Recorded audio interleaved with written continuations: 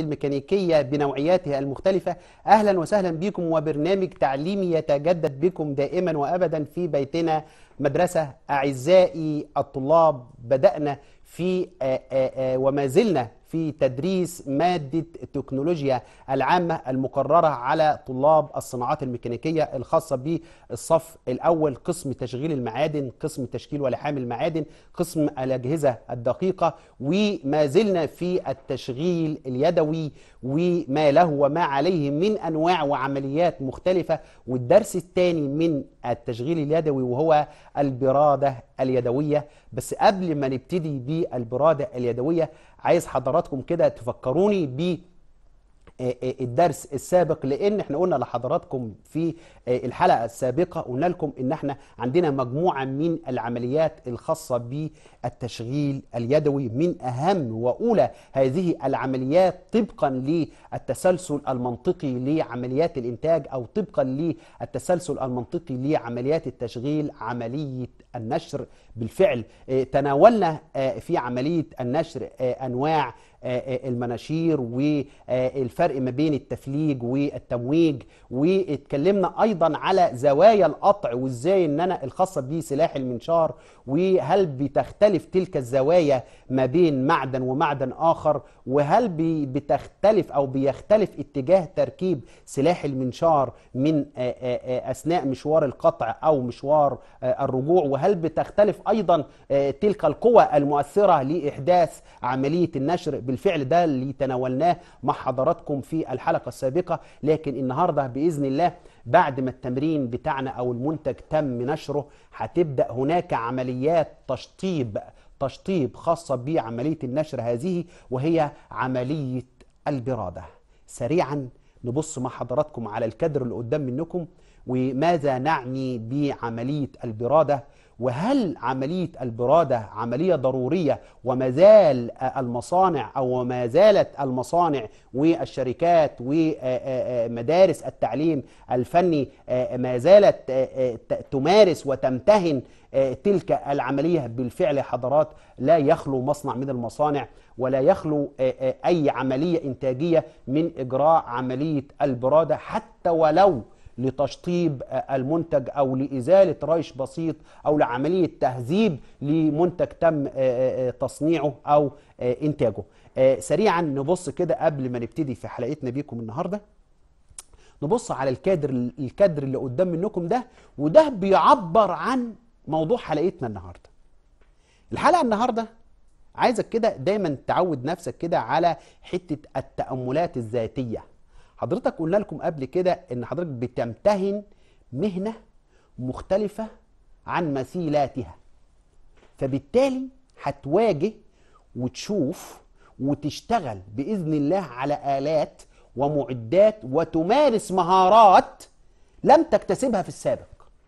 وبالتالي لابد من حتة التأملات الذاتية تقف كده قدام الماكينة قدام الماكينة وتتأمل تلك الماكينة. تشوف الحركة جاية منين وبتشتغل منين. تشوف أداة القطع دي بتقطع في المنتج ده إزاي والحركة جاي منين. طب لو هل لو حدث عطلة عندي أعالج الكلام ده إزاي؟ طب المنتج اللي تم إنتاجه ده هعمل له عملية برادة. طب هل أي منتج أستخدم له أي مبرد؟ بس بالراحة علينا شوية يا مستر. قبل ما تدخلنا بقى في قصة المبارد وأشكال المبارد وأنواع المبارد عايز حضرتك بس واحدة واحدة كده بالله عليك معانا معلش وتقول لنا ماذا نعني بعملية البرادة. قبل ما حضرتك تقول لنا أنواع المبارد يعني إيه برادة؟ بس قبل ما أقول لك عملية البرادة أنا طالب منك حتة بسيطة خالص عشان تحطها في ذهنك قبل ما أشتغل معاك عشان عشان تعمل عملية اتصال مع الشكل اللي قدام منك ده بالكلام المعرفي اللي أنا هعرضه لحضرتك. بص كده معلش بعد إذنك على الكادر اللي قدام منك ده. ده فني واقف. آه هو طبعا الصورة هنا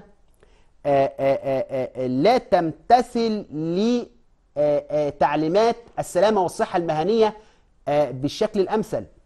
ولكن أنا الغرض من وضع هذه الصورة المعبرة هي هي هي هي رؤية رؤية تثبيت قطعة الشغل ومسك المبرد. ومسك المبرد. أنا الغرض من الفريم ده إن أنا بقول لحضرتك إن وضعية المبرد هيتمسك إزاي واللي هثبت أداة التشغيل أو أداة أو الخامة نفسها هتثبت عليه ووقفتك قدام المنجلة هتكون إزاي؟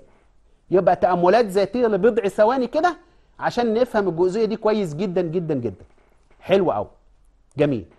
تعالوا بقى معانا نقول ماذا نعني بالبرادة.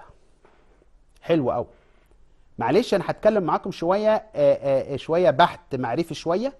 قبل ما ادخل على التطبيق العملي. إحنا قلنا في البداية عفوا. قلنا في البداية ان إحنا بنتحدث عن التشغيل اليدوي واخدنا النشر. تاني عملية ضمن عمليات التشغيل اليدوي البرادة. البرادة هي عملية تشغيل بالقطع. نركز كويس جدا جدا في المصطلح ده. كل عمليات التشغيل اليدوية يطلق عليها عملية تشغيل بالقطع. تاني يا مستر الكلام ده معلش. جميع عمليات التشغيل اليدوية يطلق عليها التشغيل بالقطع. حضرتك بتقول يا مستر تشغيل بالقطع. هو في تشكيل يا مستر؟ أنا سمعت زميل زميلي بيقول لي هو في تشكيل. أيوه بالفعل. التشكيل بيتم على المعدن بدون خروج رايش. نركز أو أو في الجزئية دي أو السؤال اللي اتسأل ده. هناك فرق ما بين التشكيل والتشغيل. موضوعنا تشغيل. وطالما تشغيل إذا في قطع بيتم وينتج عنه رايش. حلو كده؟ طيب التشكيل التشكيل عملية تشكيل بيتم على المعدن أو على المنتج بدون خروج عملية رايش. ادينا مثال يا مستر عشان نقدر نركز مع حضرتك وإحنا لسه في بداية الحلقة. حاضر هدي لك مثال.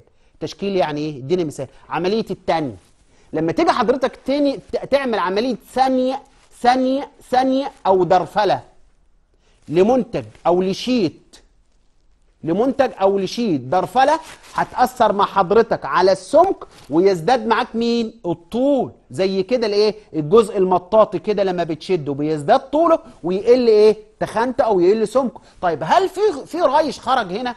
بالطبع لأ. يبقى العملية هنا عملية تشكيل وليست تشغيل. أما لو جينا في النشر بتاع الحلقة الأولى بتاعتنا والحلقة الثانية البرادة لما حضرتك تيجي تمسك المنشار مش قلنا في شظايا أو ريش بيخرج؟ يبقى ده يسمى تشغيل. نركز كويس جدا ونوضح الفرق ما بين التشكيل والتشغيل. سريعا نرجع بحضراتكم لعملية البرد. هي عملية تشغيل بالقطع بإزالة الريش. وبيتم بردك عن طريق إزالة شظايا صغيرة اللي هي الريش. ركز معايا واربط الحلقة السابقة بالحلقة دي. الحلقة السابقة كانت بتتكلم عن النشر والحلقة دي بتتكلم عن البرادة. في أولى التعريف بتاع النشر كنا بنقول هو عملية قطع بإزالة الريش وتتم عن طريق إزالة شظايا صغيرة بنسميها ريش. نفس المسمى بتاع بتاع النشر هو نفس المسمى بتاع مين يا حضرات بتاع البرادة مع اختلاف تاني. عشان ما تقولش ده المستر محمد بيقول لنا إن تعريف النشر هو هو تعريف البرادة؟ لا مع اختلاف. نركز بقى في الحتة دي. أسنان القطع اللي موجودة عندنا. أسنان القطع. عندنا القطع هنا في البرادة بيتم بواسطة أسنان المبرد.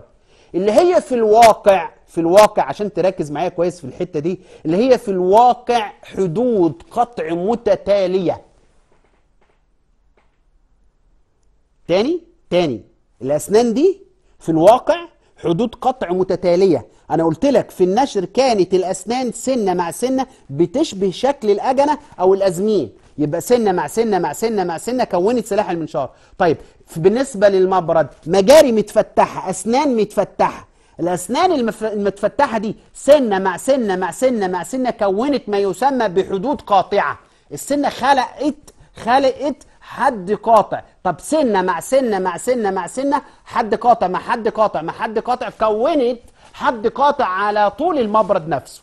وبالتالي عملية القطع بتتم من خلال تاني عملية القطع دي بتتم من خلال إيه يا حضرات؟ ها عايز حد يسمعني؟ فعلا جميل. عملية القطع دي بتتم من خلال تلك الأسنان اللي تم تفريزها أو سوري اللي تم قطعها على مين حضرات؟ على طول المبرد. حلو قوي طيب المبارد دي يا مستر محمد حضرتك في النشر. بصوا بصوا طلاب قسم الصناعات الميكانيكية. إحنا دايما معلش بنقول لأبنائنا الطلبة آه، آه، المهنة سوق العمل محتاجها. فلازم حضرتك تعرف بنسبة 100% أساسيات المهنة. أساسيات المهنة. أنا ليه بقول أساسيات المهنة؟ لأن بقول لي يا مستر دلوقتي الطالب اللي بيسمعني بيقول لي يا مستر هو أنا في المصنع هلاقي أو هل في مدرستنا أو في المدارس الصناعية عندنا جميع الأدوات وجميع المعدات وكل التولز اللي في المصنع هلاقيها متوفرة في المدرسة؟ بالطبع لأ واتفق مع حضرتك تماما إن جميع الأدوات ال- والمعدات اللي متوفرة في المصانع مش هي اللي متوفرة كاملة داخل مدارسنا. ليه؟ لأن دايما آه، القطاع الخاص أو المصانع بتتصارع في الحديث. بمعنى إيه بتتصارع في الحديث يا أولاد؟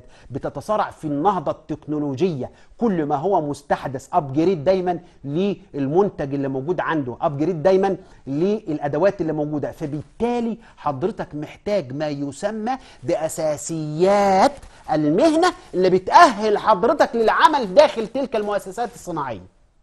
يبقى أساسيات المهنة. حضرتك اعرف الأساسيات بتاعت قيادة السي... السيارة وبعدين لما نجيب لحضرتك سيارة مانوال أو سيارة أوتوماتيك أو موديل معين حضرتك هتقدر تتأقلم خلال أيام بسيطة مع قيادة السيارة. ولكن شرط أساسي حضرتك عندك أساسيات في المهنة. على أساس تقدر تمتهن تلك المهنة. وسريعا نرجع بحضراتكم للسؤال اللي بيطرح نفسه.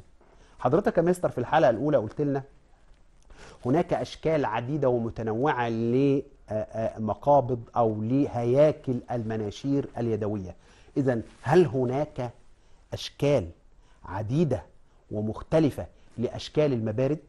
بالفعل هناك أشكال منها المبرد المبطط وهنقول لحضراتكم شكله إيه وبيستخدم في إيه وهناك المبرد المربع وإزاي هنقول لحضراتكم دلوقتي شكله إيه وهناك المبرد المثلث ومبرد يسمى ديل الفار ونصف دائرة وسكينة.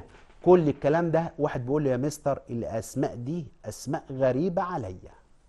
وأنا ما بعرفش أحفظ. هو أنا لما أجي هو أنا لما أجي أنفذ منتج معين هقول جيب لي مبرد دي الفار أو أو أو أو. طب ما المبارد كلها قدام مني وأنا مش عارف أميزها.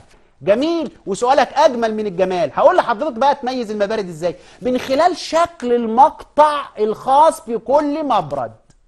تاني الحتة دي تاني يا حضرات. المبرد عندي اهو. ده المبرد بتاعي. شكل المقطع بتاع المبرد إما من قدام هنا بياخد نص دايرة يبقى اسمه مبرد نص دايرة. تاني؟ تاني. إما بياخد شكل مربع يبقى اسمه مبرد مربع. إما بياخد من قدام من قدام من هنا شكل مثلث يبقى اسمه شكل مثلث. إما بيكون ملفوف زي ديل الفار فبيسمى مبرد ديل الفار. تاني حضرات عرفنا إزاي نميز تلك الأشكال؟ جميل جدا. طيب حلو. حضرتك يا مستر آه آه هو أنا كده المبارد دي كده بالأشكال اللي حضرتك بتتكلم عليها دي هي ملهاش مادة صنع؟ يعني أنا مثلا سي المبرد اللي أنا بشتغل بيه ده ما أعرفش متصنع من إيه؟ لا هناك مادة خاصة بتصنيع تلك المبارد.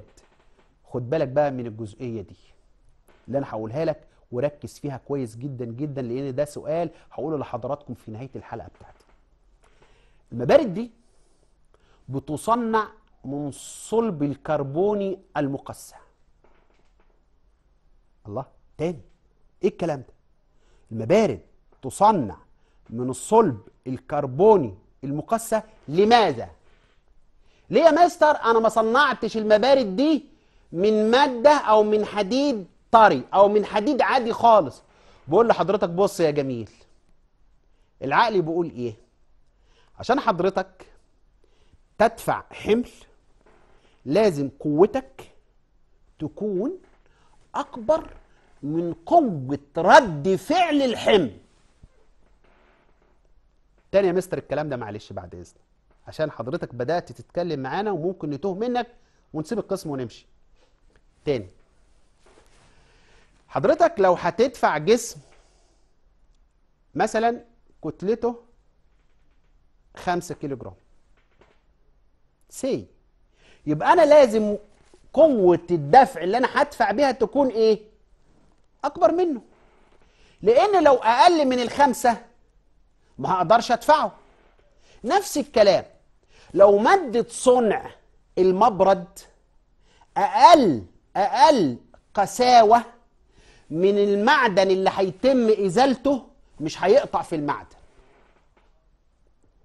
بالتالي لابد من أو أن تكون مادة صنع المبرد أصلد أصلد أصلد مرة تالتة وتانية من نوع المعدن المطلوب قطعه. ونركز كويس جدا جدا جدا في الحتة دي. يعني يا مستر محمد ال- ال- ال- ال- المبرد ما يشتغلش على الفولاذ؟ بص بقى جميل إحنا لسه دلوقتي بنقول إيه؟ لابد أن تكون مادة صنع المبرد اصلد من نوع معدن الخامة المطلوب برادتها. عليه لكي تتم عملية البرادة. حلو قوي طيب هناك مبارد بقى خاصة للزهر وللصلب والنحاس والالومنيوم مبارد مختلفة تماما يا مستر. آه مبارد هتختلف وأقول لحضرتك الاختلاف هيجي من فين وفين الاختلاف هيتم. اذا عشان نركز كويس جدا جدا في عملية البرادة هي عملية تشكيل بيتم بالقطع بإزالة الريش وبيتم عن طريق إزالة شظايا صغيرة بواسطة أسنان المبرد. المسمى السابق لأسلحة المنشار كانت بتتم بواسطة أسنان سلاح آه، المنشار. وعرضنا الصورة لحضراتكم مرة تانية. ولكن آه، تعالوا بقى مع بعضنا واحدة واحدة شوية. المبارد اللي عندنا دي آه، آه، آه، آه، مبارد بتاخد شكل أسنان. يعني المبرد ده هو ده المبرد اللي موجود عندنا. المبرد ده فيه أكتر من سنة متفتحة كده. بياخد شكل إيه؟ أسنان حادة. مرتبة بشكل بيساعدها لما تيجي تمسك المبرد وتشتغل بالمبرد بيساعد على تسوية السطح. وقلنا لحضراتكم بتصنع من الصلب المقسم ليه يا مستر محمد؟ ليه بالذات تصنع من المادة دي؟ على أساس إن المادة دي تكون أصلد من مادة أو من نوع مادة الشكل أو المنتج المطلوب برد. حلو أوي. نرجع مرة تانية بحضراتكم ل آه، آه، المبارد. بتختلف أشكال المبارد طبقا لنوع العملية الصناعية المطلوبة. تاني يا مستر معلش. بتختلف أشكال المبارد طبقا طبقا لنوع العملية المطلوبة على سبيل المثال أنا عندي ثقب مثلا يعني أو عندي مجرى غنفاري حلو.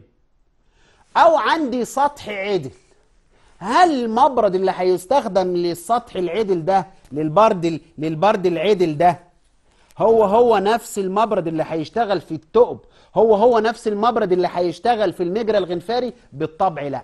يبقى إذا بناء على نوع العملية اللي هتتم بناء على اختيار نوع المبرد وسريعا ندخل مع حضراتكم على أشكال تلك المبارد اللي وضحناها من شوية لحضراتكم. بس أنا عايزك تركز فين؟ تركز معايا في شكل المقطع الأمامي للمبرد. بص كده. بص بص معايا معلش انت بص معايا على أصعب جزئية هوضحها لك عشان تفهمها معايا. انزل تحت كده على آه، النص دايرة ده. شايفين؟ من تاني من تحت. النص دايرة ده. جت من النص دايرة يا مستر محمد. طب بص يا جميل. بص كده على الطرف المدبب أو على الطرف الأمامي للمبرد. بص كده واخد شكل إيه؟ واخد شكل قوس نص دايرة. واخد شكل نص إيه؟ دايرة. وبالتالي المبرد اللي عندي اسمه مبرد نصف إيه؟ نصف دائرة. يبقى نرجع سريعا لأول هذه الأنواع من أشكال المبارد. عندي مبرد مبطط عدل. مبرد مبطط عدل وده شكل المستطيل أو شكل الطرف الأمامي للمبرد. وعندي شكل آه، مربع مسلوب. مربع بس مربع جاي بسلب المبرد نفسه وده شكل المقطع بتاعه. عندي مبرد مثلث مبرد إيه يا حضرات؟ مبرد مثلث. والمبرد المثلث ده ممكن يشتغل معاك في فتح المجاري الغنفارية. يعني حضرتك لما بتنزل بعملية نشر نشر ويلي آه، عملية النشر دي فتح مجرى غنفاري هنستخدم لها مين؟ المبرد المثلث ده. حلو قوي. طيب عندي مبرد بنسميه ديل الفار اللي بياخد شكل دائري. حلو أخدنا لحضرتك شكل المقطع بتاعه. عندي مبرد سكينة بياخد نفس الشكل ده اللي واضح مع المقطع بتاعنا. يبقى عزيزي الطالب لما حضرتك تيجي آه، تدخل على أساس تنفذ عملية آه، آه، آه، تشغيل معينة بالمبارد المختلفة أولا نعرف كويس جدا جدا جدا نوع العملية أو الشكل المطلوب تمثيله أو المطلوب تنفيذه وبناء عليه أستخدم أداة القطع اللي هي موجودة عندي وبناء عليه أستخدم شكل المبرد المطلوب معانا. ودي الاستخدامات بتاعتنا. جميل جدا. بقول يا مستر أنت حضرتك هنا؟ عرضت لنا الأشكال. طب إحنا عايزين نشوف الشكل ده بيستخدم إزاي آلية العمل بيه وهو الشكل العام لقطعة التشغيل اللي بناء عليها هختار مين يا حضرات؟ جميل أسمع منكم بقى معلش الناس نامت ولا إيه؟ أسمع منكم. رائع. فعلا بناء على شكل المبرد اللي موجود عندي بيتم تحديده بناء على شكل العملية المطلوبة وسريعا نيجي بحضراتكم لشكل العملية. بس أنا عايز بقى منكم حاجة. أنا هقول لك هنا المبرد ده اسمه إيه؟ وتساعدني. تقول لي الاسم المبرد ده إيه؟ بناء عليه يا مستر محمد. بناء على شكل العملية نفسها. بناء على شكل الخامة نفسها. والله لو شكل الخامة مسطحة يبقى العقل بيقول يا مستر أنا هستخدم مبرد إيه؟ مبرد مبطط عدل. طب تعالوا معانا نطبق الكلام ده ونشوف. بص لي كده على الشكل رقم واحد ده. بص لي كده على الشكل رقم واحد. المبرد اللي عندك ده السطح. إحنا أول ما هنفكر هنفكر في مين؟ في شكل المنتج. شكل المنتج اللي عندك هنا عدل وبالتالي هستخدم مبرد عدل موجود معايا هو. أنا عايز أعمل تسوية سطح. مش محتاج مبارد أنواع مختلفة ولا مثلث ولا دايرة ولا نص دايرة ولا سكينة ولا ديل فار ولا الأنواع اللي عرضناها لحضراتكم. أنا محتاج مبرد مبطط. مبرد عيد الموجود معايا. طيب حلو قوي نفس الكلام يا مستر محمد. بص بص بص كده. بص جالك كلامي. بص لي كده على الشكل ده جميل. بص لي كده على شكل المثلث. شفت أنا قلت إيه؟ أنا غششتك اهو. ده شكل إيه؟ مثلث. وبالتالي شكل المبرد اللي هيستخدم لش... ل... ل... ل... لتفريغ أو لتشطيب شكل المثلث ده يستخدم مبرد إيه؟ جميل جدا. زميلكم بيقول يا مستر هستخدم مبرد شكله شكل مثلث. يبقى المبرد اللي عندي هنا هيكون مبرد إيه؟ مثلث. لأن حضرات ما ينفعش أجيب مبرد عدل زي ده ويدخل في شكل المثلث ده. الناس تركز معايا كويس جدا جدا.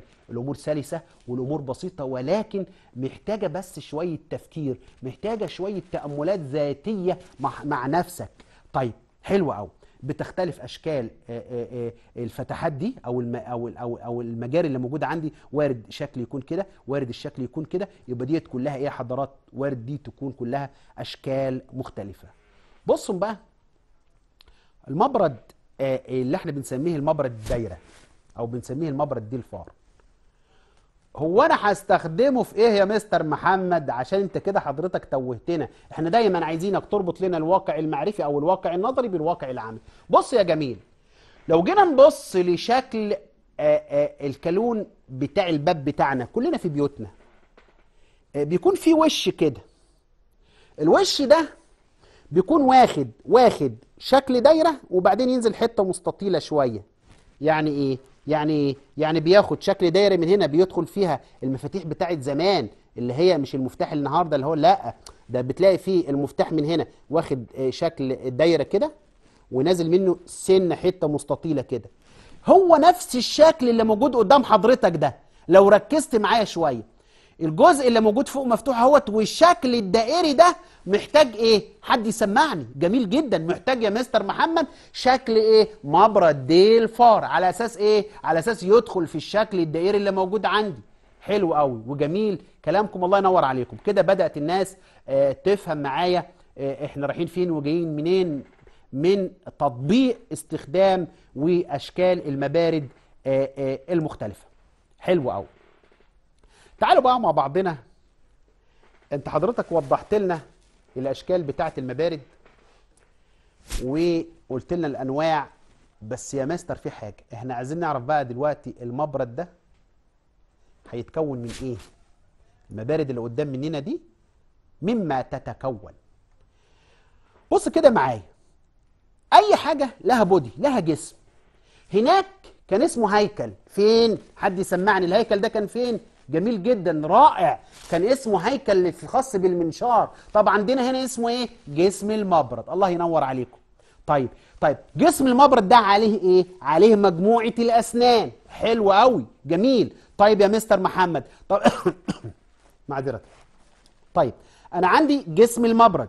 حلو. جسم المبرد ده مشقوق عليه إيه؟ مجموعة الأسنان. مجموعة الأسنان دي اللي هتعمل إيه؟ اللي هتقوم بعملية التسوية أو عملية إزالة المعدن. حلو قوي. طب يا مستر هو المبرد ده مش فيه جزء أهوت اللي إحنا بنسميه يد المبرد؟ يد المبرد؟ طب دي هيركب فيها حاجة يا مستر ولا هتشتغل كده؟ هعلقك شوية عشان تفضل مركز معايا وأقول لك بعد دقيقتين بالظبط دي هيركب فيها إيه وشكل المقبض اللي هيركب فيها إيه. بس خليك معايا ما تروحش بعيد. حلو قوي. طيب الطول اللي موجود عندي ده كده الطول ده اسمه طول المبرد. طول اللي هي حضرات طول المبرد. والجزء اللي في المقدمة ده اسمه رأس المبرد وبتاخد شكل شكل مقطع لشكل المبرد سواء كان مثلث سواء كان مربع سواء كان دائري. طيب ده كده بالنسبة لمكونات المبرد. حلو. هو مستر محمد حضرتك قلت لنا الأشكال بتاعه المبارد وفهمناها. والأنواع بتاعه المبارد وفهمناها. حلو قوي وقلت لنا مكونات المبرد وفهمناها. هو المبرد ده عشان أستخدمه فيه أو هناك احتياطات لابد من اتباعها عند استخدام هذه المبارد بالفعل. هناك احتياطات لابد من اتباعها ومجموعة من الإرشادات الهامة جدا جدا جدا لابد من اتباعها قبل ما حضرتك تستخدم تستخدم وأثناء وبعد استخدام المبرد. يبقى إذا هناك مجموعة من الإرشادات الهامة قبل وأثناء وبعد استخدام المبرد. تعالوا مع بعضنا سريعا ونبص على شاشتنا ونشوف أهم تلك الاحتياطات والإرشادات التي يجب اتباعها قبل وأثناء وبعد إجراء عمليات البرادة المختلفة. أولا العقل بيقول إيه؟ استخدام المبرد المناسب للمشغوله المناسبه وما هنتكلمش كتير جدا في الكلام ده لأن قلنا المبرد المناسب في المشغوله المناسبه يعني إيه؟ عشان ما نكررش الكلام تاني يا أولاد المبرد المناسب. لو أنا هشتغل مثلا سي برد عدل يبقى هستخدم المبرد المربع أو المبرد المبطط. آه سوري المبرد العدل اللي موجود آه معانا. يبقى اذا استخدام المبرد المناسب للمشغوله المناسبة ومادتها. فلا يجب خلي بالك ومادتها دي ومادتها دي المادة يقصد بيها مادة الصنع. يعني أنا قلت لك على سبيل المثال ما جيبش مثلا مبرد خشابي اللي إحنا بنسميه مبرد يستخدم للخشب اللي بيستخدمه الأمياجي مين الأمياجي ده؟ اللي بينحت اللي بينحت ويشكل والجماعة بتوع الموبيليا اللي بيشتغلوا في نحت التماثيل ونحت الأيمة وشغل القيمة بيستخدم مبرد خشابي. ما ينفعش أجيب المبرد الخشابي ده واعمل بيه برد حديد. لأن أسنان المبرد اللازمة لإجراء عملية البرادة للمعدن حديد بتختلف عن أسنان المبرد المطلوب استخدامه في عمليات برادة الأخشاب. يبقى نركز كويس جدا جدا وهقول لحضرتك الاختلاف في إيه. حلو. طيب. خد بالك بقى من النقطة اللي جاية دي معلش دايما تتعود ما تفوتش حاجة لما تفهمها.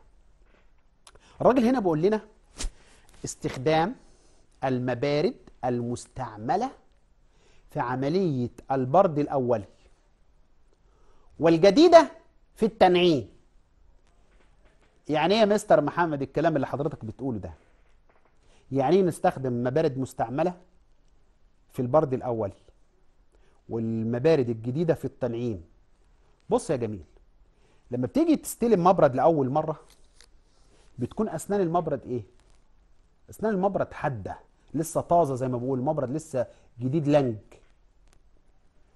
لو أنا جيت أستخدم المبرد الجديد ده والمطلوب عندي لسه هستخدم هستخدم عملية برادة بتتلو عملية نشر فسطح المعدن بيكون فيه الارتفاعات والانحناءات والانخفاضات.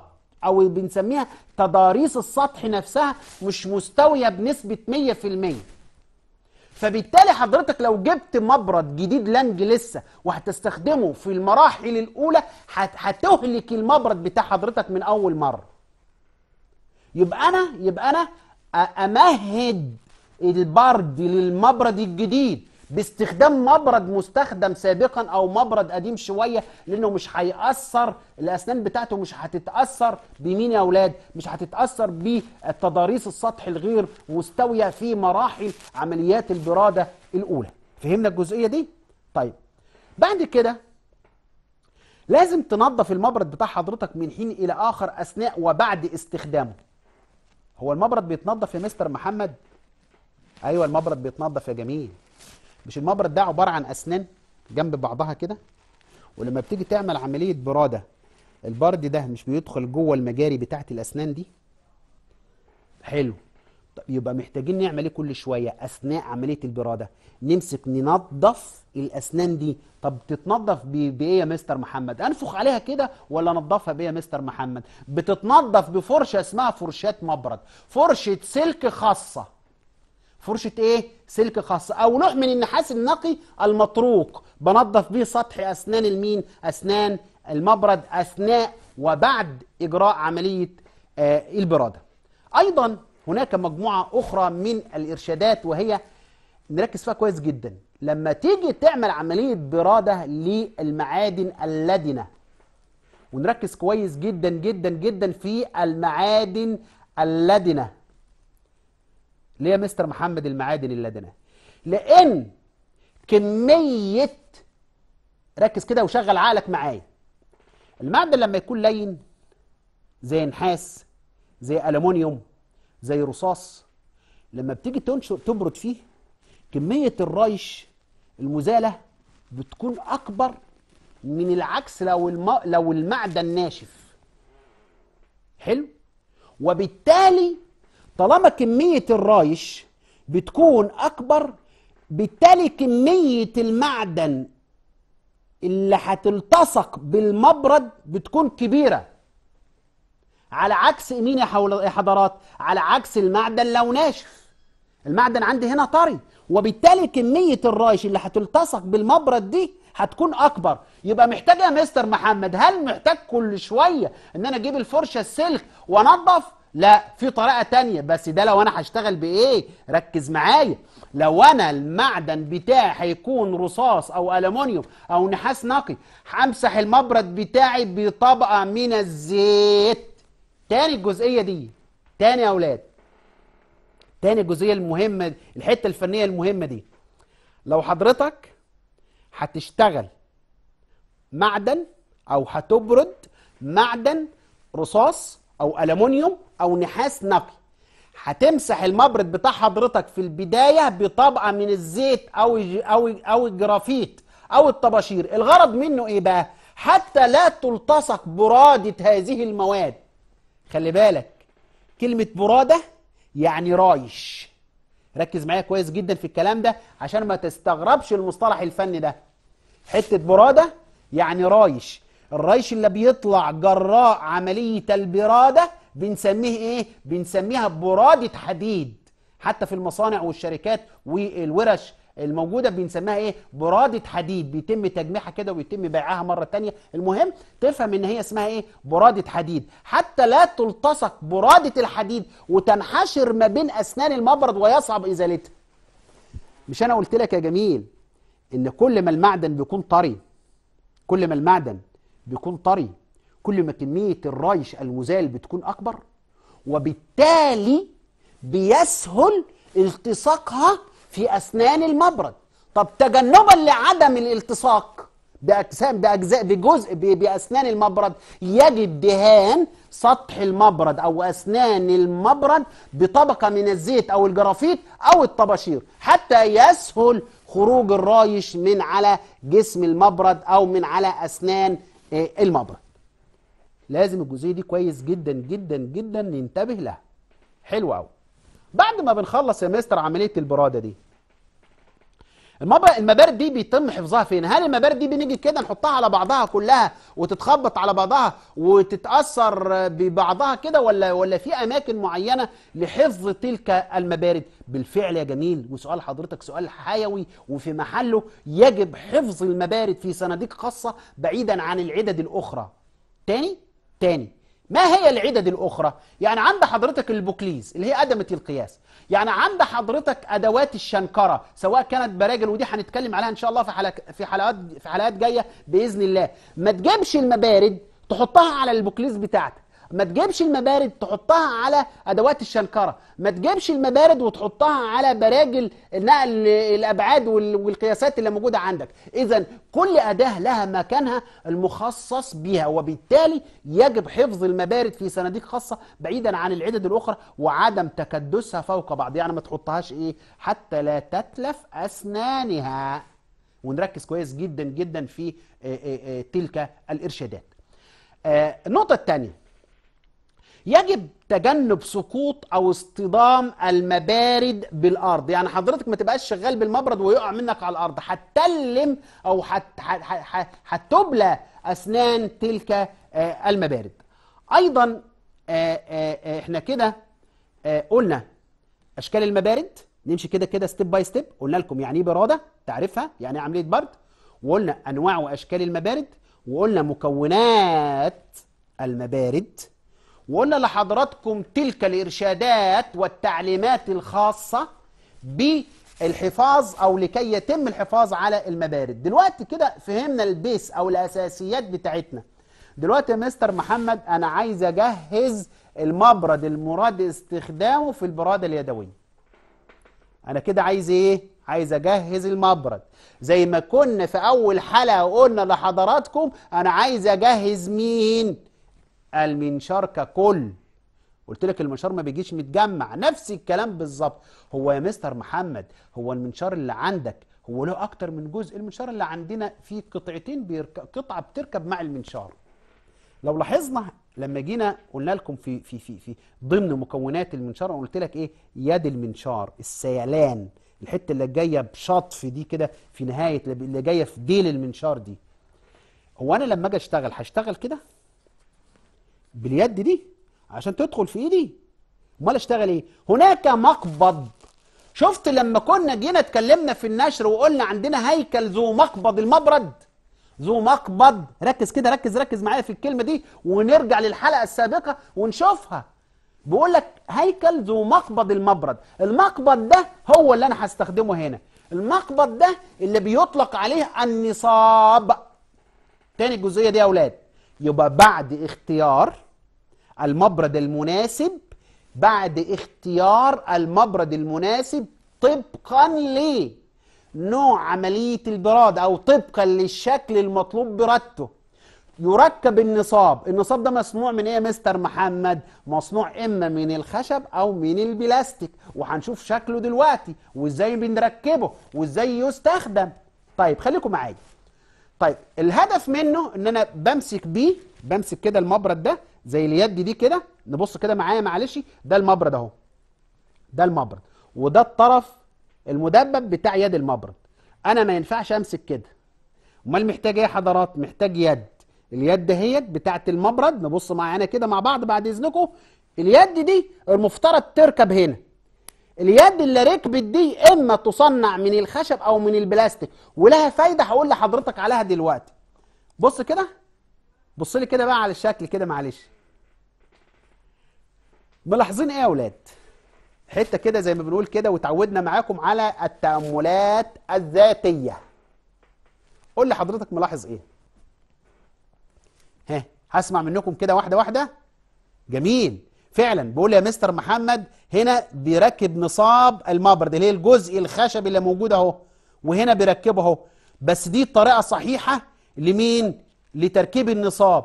لأن الطرف اللي بيركب فيه النصاب ده طرف مدبب. طرف إيه يا أولاد؟ وأنا هقول لكم واقعة حصلت معايا أنا بالفعل لكي نتجنب الطريقة الخاطئة لتركيب يد النصاب أو يد المبرد. بصوا معانا حضرات. لاحظ هنا الراجل ماسك المبرد اهو باليد اهي وركب ثبت اليد الخشب بإيده كده ومطرقة خشبية هي دقة بسيطة كده دقة بسيطة عن بمين دقة بسيطة على على النصاب ده أو على المقبض الخشبي ده ويتمسك. حلو كده؟ ويتمسك. تعالى بقى معايا. إيه الملاحظ؟ إن يد المبرد هنا لفوق. يد المبرد يا أولاد لفوق. الاستخدام الخاطئ وحذاري ثم حذاري ثم حذاري. وضع يد المبرد لأسفل وحضرتك تمسك وحضرتك تمسك المبرد ده وتقعد تدق كده فين؟ تدق المبرد في مين؟ في اليد. المبرد ما بيدقش في اليد. اليد هي اللي بتدق في المبرد. نركز كويس جدا جدا جدا مع حضراتكم. طيب تعالى يا مستر معلش الحتة دي. هو أنا ما ال- يد المبرد تبقى الأسفل؟ لا يا جميل. الوضع اللي أنا بقول لك عليه يد المبرد ما تكونش الأسفل كوضع تثبيت هتدق بيها كده. يعني ما امسكش المبرد ما امسكش المبرد كده بالطرف المدبب كده واليد هنا ثابتة وأقعد أدق كده بالمبرد. لا يا جميل. الصح الصح عندي إن أنا بثبت التاني عشان أقول لكم على الجزئية دي الصح إن أنا بثبت ال- ال- المبرد بتاعي والطريقة الصحيحة اللي شفناها أبدأ أدق على مين؟ على اليد الخشب بطريقة خفيفة جدا أو بدقة خفيفة لحد ما أركب مين؟ وأطمن وأتأكد إن اليد الخشبية دي أو اليد البلاستيك دي تم تثبيتها في آه، آه، آه، جسم في ديل المبرد أو في طرف المبرد اللي موجود عندنا. بص كده معايا معلش على الوضع الخطأ ده والوضع الخطأ ده حدث معايا بالفعل أيام ما كنت طالب يا أولاد في قسم الصناعات الميكانيكية. لاحظنا إيه؟ هو هنا مسك المبرد بإيد نركز كده مع بعض معلش في الواقعة دي أو في الحادثة اللي, اللي بتحدث لأبنائنا الطلبة أو لا قدر الله مش عايزينها تحدث داخل مدارسنا الصناعية. نركز مع بعضنا معلش بعد إذنكم. نبص مع بعض كده على الشاشه لو سمحتم والناس تسيبها من اللي في ايديها وتسيبها من الورقه والقلم واللي بتسجلوا معايا ونلاحظ بس الطريقة المثلى اللي هنبدا نثبت بيها المبرد بتاعنا أو الطريقة الخطا ال- ال- اللي تمت قدام مننا هنا. الطبيعي ده المبرد. ده إيه يا أولاد ده المبرد. أنا جبت النصاب أو جبت اليد الخشب وعملت إيه؟ وجبت ثبت هنا ثبت هنا ورحت جايب بص بص كده ورحت جايب المبرد ده ده الطريقة الخطأ. وثبت هنا أثناء ما حضرتك بترفع إيدك وتنزل مرة تانية النصاب يتخلع من يد المبرد. رشق رشق طرف المبرد في إيد حضرتك. يبقى ده استخدام خاطئ وده حدث معايا أيام ما كنت طالب زي حضراتكم. يبقى اذا الطريقة المثلى لتثبيت ودي تعتبر خطره جدا جدا جدا لابد من ملاحظتها ولابد من اتباع الطريقة المثلى اللي قدام من حضراتكم والطريقة الخطأ أنا وضحتها لك أهيت. اوعى تستخدمها. أنا بقول لحضرتك إن الطريقة دي خطأ ما تستخدمهاش في تثبيت اليد الخشبية أو اليد البلاستيكية. حلو قوي آه، آه، برضك لما تيجي تستخدم المبرد بتاعك لازم تمسك المبرد من بالطريقة الفنية الصحيحة. وهنوضحها لحضراتكم دلوقتي آه، الشكل اللي جاي هيوضح طريقة مسك المبرد. تمهيدا تمهيدا. أنا بمسك المبرد دلوقتي وجهزت المبرد ليه؟ ليه؟ تمهيدا لبدء العمل الأول بالنسبة للمبارد الطولية والثاني للمبارد القصيرة وده اللي هيوضح معانا. بص كده بص كده شفت شوف بس كده المبارد القصيرة والمبارد الطويلة. الراجل بيقصد إيه بال- بالكلام ده؟ بيقصد إيه يا حضرات بالكلام ده؟ نرجع معلش بالجزئيه دي. الشكل بيوضح طريقة مسك المبرد تمهيدا لبدء العمل الأول بالنسبة للمبارد الطويلة والثاني بالنسبة للمبارد القصيرة. لاحظ حاجة. بص كده شايف ده؟ شايف الجزء ده؟ بص بص بص بص هو مسك هنا المبرد أهو بإيده أهي. ودي راحت اليد أهي. شفت متثبتة إزاي على المبرد من قدام؟ حلو. طب بص كده على المنجلة اللي قدام من حضرتك دي وقطعة التشغيل اللي تم تثبيتها وشوف وهو ماسك المبرد النصاب نفسه أو اليد راشقة هنا اليد الخشبية راشقة في في في في, في منتصف اليد دي كده راشقة في منتصف اليد. وشوف طرف إيده اليمين أو الشمال متثبتة إزاي؟ متثبتة في الطرف المدبب في الطرف المدبب لمين؟ للمنشار. ده لو أنا هشتغل طولي كده طول المناشير عندي طويلة. طب لو أنا هشتغل بالعرض يبقى شفت الراجل غير وضع ايده إزاي؟ شفت وضع اليد اتغير هنا إزاي؟ يبقى أنا لابد من ملاحظة أو الاستخدام الأمثل لمسك آه، المبارد. طيب. تاني الجزئية دي. آه، تتحدد وظيفة المبرد وفقا لشكل السلاح. هنا نقصد بيها شكل الأسنان نفسها. بمعنى إيه يا أولاد بمعنى إن أنا عندي المبارد المسطحة بتستخدم لتشغيل السطوح المستوية. المبارد المسطحة بتستخدم لتشغيل السطوح المستوية. والمبارد المربعة بتستخدم في تشغيل الثقوب المربعة. وده اللي كان قبل كده وضحنا لحضراتكم بالشكل العام. وضحناه لكم بالشكل العام. قلنا لك الشكل ده لو مربع يبقى أنا هستخدم شكل مربع طيب الشكل ده لو مثلث يبقى أنا هستخدم تستخدم المبارد المثلثة لتشغيل الزوايا الخارجية والداخلية. قد قد تكون تلك الزاوية خارجية وقد تكون تلك الزاوية داخلية. اذا نستخدم في ذلك المبارد المثلثة. أيضا المبارد الدائرية اللي بنسميها زي الفار أو ديل الفار بتستخدم عند تشغيل الثقوب الدائرية والمقوسه لأن المقوسه جاية من نص دايرة وبالتالي موجود عندنا المبارد الدائرية والمبارد الدائرية نصف دائره دائرية عند تشغيل السطوح المقعره والمحدبة بنستخدم ليها المبارد نصف دائرية. اذا بناء على شكل المنتج بناء على تحديد استخدام المبرد. جميل جدا. نرجع بقى شوية. تعبنا شوية من الكلام النظري. ندخل بقى على الأشكال اللي المفترض يا مستر محمد هنلاقيها في دولاب العده اللي موجود عندنا. أسيبكم بقى بضع كده ثواني والناس تركز شوية في الشكل اللي قدام من حضراتكم. بس أنا عايز عينك تقع على مين يا أولاد؟ تقع. بص بص بص بص على الجزء ده الأول قبل ما تشتغل. على شكل المقطع اللي موجود عندك. أنا قلت لك ده مبرد مستوي. هتقول لي يا مستر محمد حضرتك ما قلتش مبرد مستوي من وقت ما اشتغلت الحلقة. جميل. حضرتك مركز وممتاز وأكثر من رائع. ولكن بص بقى جميل الكلام اللي هقوله لك. المبرد المستوي ده واخد شكل إيه؟ بص كده لشكل المربع واخد شكل مبطط واخد شكل مربع عندك. اذا نفس المسمى واحد. طالما نفس الشكل واحد. تاني؟ تاني يا أولاد. أحيانا حضرتك هتيجي على الباركود اللي بنزله أو ال QR اللي بنزله ده أو هتيجي تبص على آه، فيديو على اليوتيوب بيوضح آه، أشكال ووظائف والطريقة المثلى لاستخدام آه، تلك المبارد وتلاقي في مبرد مستوي تقول المستر في الحلقة بتاعته ما قالناش حاجة على المبرد المستوي. لا يا جميل. أنا قلت لك المبرد المستوي كده. قبل ما تبص على المسمى بص على الشكل. بص على الشكل. الشكل اللي قدام حضرتك ده واخد إيه؟ ها؟ الشكل اللي قدام منك ده. بص كده شكل الأسنان. إذا مبرد مبطط. مبرد مربع مبرد مبطط مربع اللي موجود عندك وبالتالي مبرد مستوي. بس الأهم من ده كله بص كده لديل الم... لديل ال- ال- المبرد ده ل... ل... ل... للطرف بتاع. ال... ال- المبرد ده وبص لشكل المقبض. هو ده شكل المقبض بتاعنا يا أولاد هو ده شكل المقبض اللي موجود عندنا. حلو قوي طيب مبرد نصف دائرة. هو مش واضح في الفريم هنا بس بص لمين؟ بص بص بص بص للمقطع ده. تلاقيه واخد شكل نص دايرة واخد شكل إيه يا أولاد نص دايرة. وركز في النصاب اللي موجود عندنا أو المقبض اللي موجود عندنا. اختلف شوية شكل النصاب؟ آه اختلف شوية ولكن هو هو نفس النصاب ونفس المقبض اللي موجود عندنا في المبرد الدائري. بص لشكل مين؟ لشكل الدايرة. مبرد المثلث. بص لشكل المثلث. دي نماذج حية من واقع دولاب العدة اللي حضرتك هتشوفه.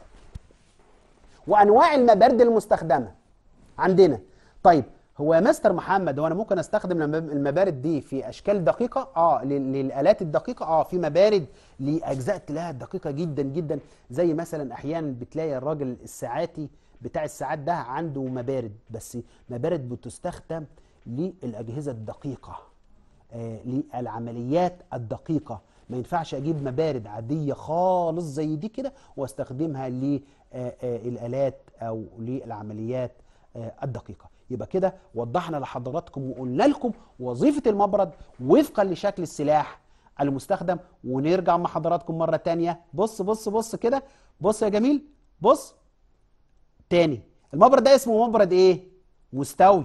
حلو. طب بص كده. المبرد ده اسمه مبرد إيه؟ مبرد مبطط يبقى المستوي هو المبطط اللي موجود عندنا.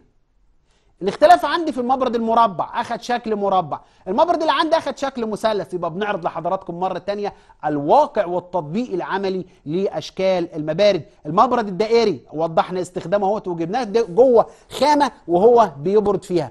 جبنا مبرد نص دايرة وقلنا ده بيستخدم في إيه؟ للأشكال المحدبة أو للأشكال المقعرة. آه مبرد سكيني مبرد شبه منحرف. شبه منحرف اللي بياخد مجرى مجرى إيه حضرات؟ جميل مجرى غنفاري يا مستر محمد. ودي تعتبر وظيفة المبرد وفقا لشكل آه السلاح. حلو قوي تاني يا مستر عشان حضرتك كده الدنيا مم- ممكن ممكن تدخل في بعضها دلوقتي. أنا عندي مبارد تصنف تاني.